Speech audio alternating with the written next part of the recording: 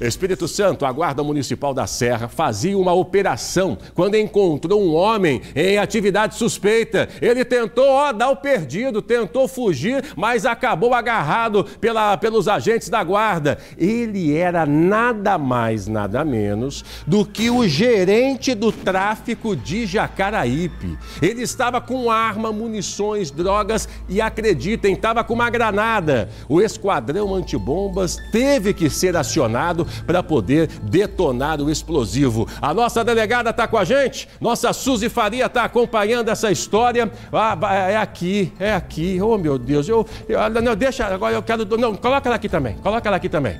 Coloca a Suzy aqui também. Eu quero duas delegadas. Ponto. Uma delegada aqui e uma delegada lá do outro lado. Ô Suzy, conta pra gente essa história maluca aí, hein? Quer dizer que a guarda deu o creu no maluco doido e aí na hora do baculejo encontraram até uma granada, né? Pois é, Douglas. Olha, a Guarda Municipal da Serra fazia saturação no bairro das Laranjeiras, que vem enfrentando uma onda de violência crescente. Para poder acabar com isso, os guardas fizeram então essa operação lá.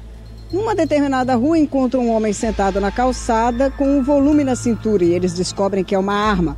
Tentam abordá-lo, ele tenta fugir, não consegue. Quando é agarrado pela Guarda Municipal, ele acaba dizendo aonde estavam as drogas que ele comercializava naquela rua. Por, pois bem, encontraram muita, muita droga dentro de uma residência e também numa mata.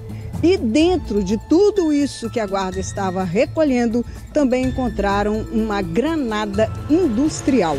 A comandante da Guarda Municipal da Serra, Laís Araújo, conversou com a gente hoje de manhã e você vai ter mais detalhes sobre essa operação da Guarda agora. Vamos ouvir.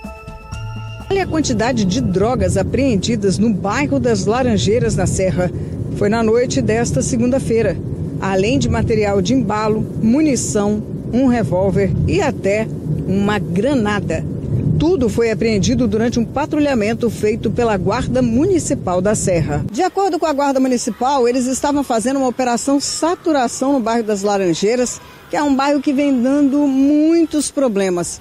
Quando de repente a viatura passa perto de um homem que está sentado tranquilamente ali numa calçada. Só que os guardas municipais observam uma coisa nele. Na cintura tinha uma arma. Eles então tentaram abordar. O cara tentou fugir, mas não conseguiu. Ao ser abordado pela guarda, informou que ele é responsável pela distribuição de drogas ali na região do bairro das Laranjeiras e no mesmo momento apontou que no local que ele estava sentado no terreno em frente e na casa tinha uma vasta quantidade de entorpecente. A guarda prosseguiu nesse terreno e também nessa residência e lá foi encontrado uma granada industrial intacta e também mais munições e uma grande quantidade de entorpecente. A equipe de bombas do BME foi chamada e fez a destruição controlada do artefato.